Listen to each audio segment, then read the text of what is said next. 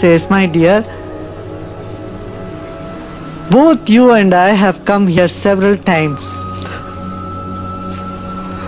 I know it all, I remember you don't remember. And he promises, he says, promise in Gita is, I will come again and again when time is needed.